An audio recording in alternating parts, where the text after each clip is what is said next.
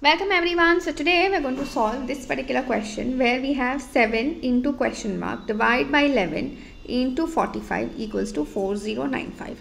Now whenever you have to find something in your LHS and it is given in this kind of a situation, you go from you know your right to left. So first what we will do is instead of this multiplying of 45 we will divide by 45 on both sides okay? Means now your question or rather your next step would be looking like 7 into question mark divide by 11 we have right?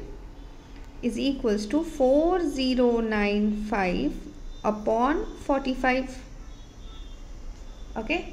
So next step what we can do is see your things are cancelling. We can say that both of them are ending in 5 so both of them are divisible by 5 this is 9 za and this is 8 1 and 9 and now if you see when you add 8 1 9 you get the total as 9 so obviously it is divisible by 9 also. So we are getting this as what? 91 now so eventually this looks like this.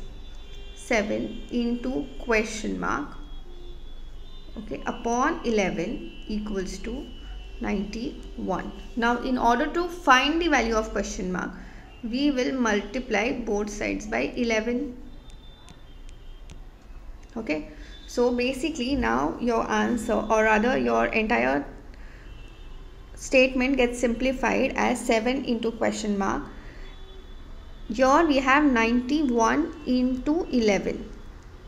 See now here you can do the multiplication but I would rather do the division first.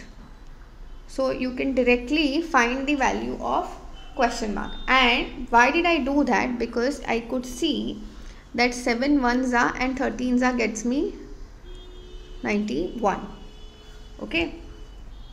So here what we can say is therefore therefore value of question mark is nothing but what 13 into 11 that value is nothing but what? 143 that is the value for question mark in this particular question.